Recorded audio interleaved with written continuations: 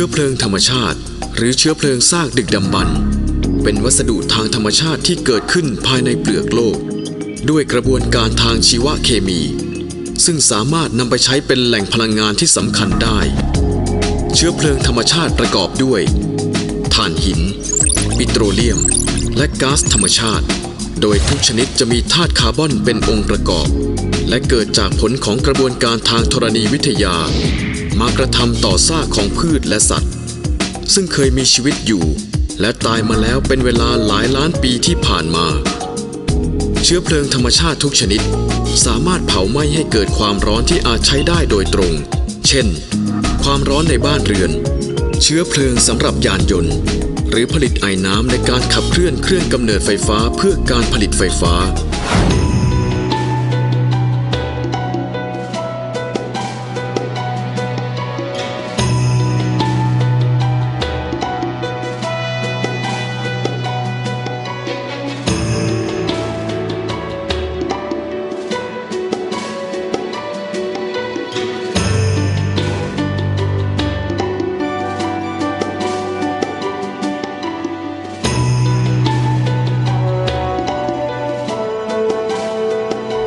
หิน เป็นแหล่งเชื้อเพลิงธรรมชาติที่มีความสำคัญมากชนิดหนึ่ง เป็นของแข็งที่มีธาตุคาร์บอนประกอบอยู่มาก ปกติมีสีดำแต่บางครั้งอาจมีสีน้ำตาลถ่านหินเกิดจากเศษซากพืชที่ทับถมอยู่ในหนองน้ำในอดีต โดยผ่านความร้อนและความกดดันมานานหลายล้านปี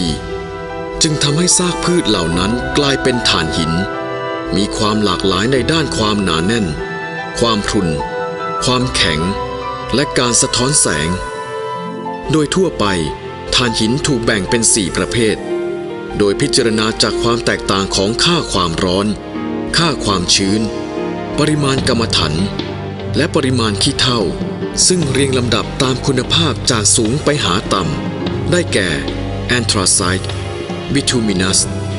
subbituminous และ lignite ถ่านหินส่วนใหญ่ถูกใช้เพื่อเป็นเชื้อเพลิงในการผลิตกระแสไฟฟ้า ส่วนที่เหลือถูกใช้ในอุตสาหกรรมต่างๆ เช่น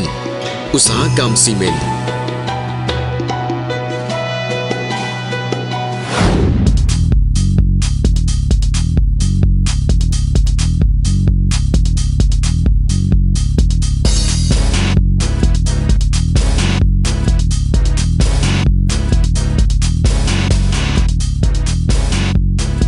โตรเลียมหมายถึงน้ำมันดิบ ที่เมื่อนำไปกลั่นแล้ว จะได้ผลิตภัณฑ์หลายชนิด เช่น น้ำมันเชื้อเพลิง น้ำมันหล่อลื่น แอสฟัลต์นอกจากนี้ยังมีความหมายครอบคลุมถึงก๊าซธรรมชาติอีกด้วย ปิโตรเลียมเป็นสารเหลวที่เกิดขึ้นเองตามธรรมชาติ จากการสะสมทับถมตัวของซากพืชและซากสัตว์จำนวนมาก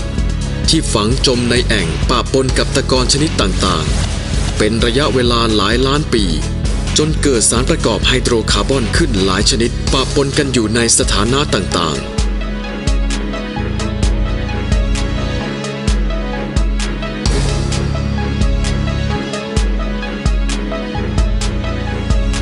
องค์ประกอบของปิโตรเลียมนั้นไม่เป็นที่แน่นอน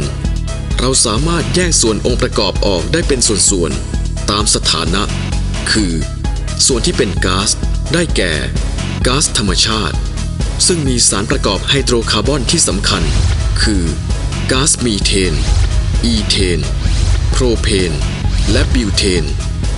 ส่วนที่เป็นของเหลว คือก๊าซธรรมชาติเหลว และส่วนที่เป็นของเหลวมีลักษณะข้นเป็นน้ำมัน เรียกว่า น้ำมันดิบ โดยปกติแล้ว น้ำมันดิบและก๊าซธรรมชาติมักจะเกิดร่วมกัน แต่บางแห่งก็อาจจะมีแต่น้ำมันดิบอย่างเดียว หรือมีแต่ก๊าซธรรมชาติอย่างเดียวสำหรับแหล่งที่อยู่ใต้พื้นผิวดินที่ลึกมากๆ ภายใต้สภาพความกดดันสูงก๊าซธรรมชาติจะอยู่ในสถานะที่เป็นของเหลว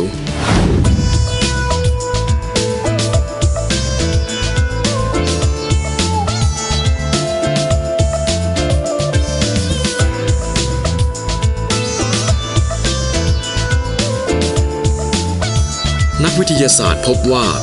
ถ้าจะนำปิโตรเลียมมาใช้ให้เกิดประโยชน์อย่างเต็มที่นั้นคควรจะนำปิโตรเลียมไปผ่านกรรมวิธีการกลั่นแยกสารประกอบต่างๆ ที่เป็นองค์ประกอบออกเป็นส่วนต่างๆซะก่อน ซึ่งวิธีการกลั่นออกเป็นส่วนๆนั้นมีอยู่หลายวิธี ผลิตภัณฑ์ที่ได้จากการกลั่นแยกส่วนปิโตรเลียมนั้นมีไม่น้อยกว่า 80 ชนิด ผลิตภัณฑ์ที่สำคัญที่สุดคือ เชื้อเพลิงชนิดต่างๆจากน้ำมันส่วนที่เบา เช่น น้ำมันเบนซิน น้ำมันก๊าซน้ำมันส่วนที่หนัก เช่น น้ำมันดีเซล น้ำมันหล่อลื่น และน้ำมันเตา ก็นับได้ว่ามีความสำคัญเช่นกัน นอกเหนือไปจากนี้ ก็มีสารเหลือค้างอีกหลายชนิดเกิดขึ้น เช่นถ่านโคกยางมะตอย และขี้ผึ้งก็อาจได้รับการสกัดออกมา รวมทั้งยังมีแก๊สชนิดต่างๆ เกิดขึ้นด้วย เช่น บิวเทน และโพรเพน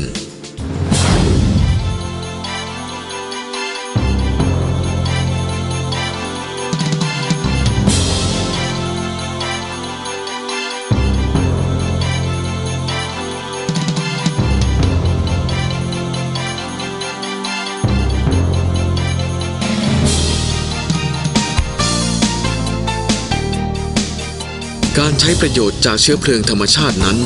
ได้เป็นไปอย่างกว้างขวางในกิจการอุตสาหกรรม พาณิชยกรรม เกษตรกรรม และในด้านอื่นๆ อีกมากมาย และก็นับได้ว่าเป็นปัจจัยสำคัญที่ทำให้เกิดการพัฒนาอุตสาหกรรมของประเทศชาติ ในช่วงหลายปีที่ผ่านมา โดยใช้เป็นเชื้อเพลิงสำหรับยานยนต์ ผลิตกระแสไฟฟ้า ให้แสงสว่าง และใช้เป็นวัตถุดิบสำหรับผลิตภัณฑ์หลายชนิด นอกจากนี้ ผลพลอยได้จากเชื้อเพลิงธรรมชาติ ก็สามารถนำไปใช้เป็นเคมีพันยารักษาโรค เส้นใยสังเคราะห์ วัสดุหล่อลื่น